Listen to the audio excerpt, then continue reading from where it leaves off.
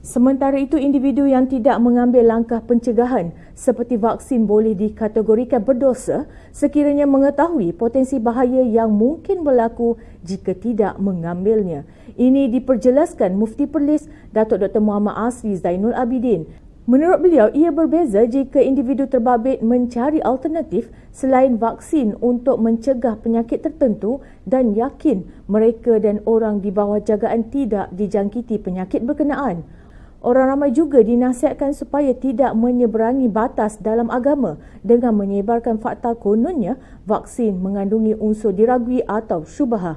Beliau yang ditemui di Kangapelis turut menegaskan vaksin dibenarkan sehingga terbukti berbahaya atau syubahah.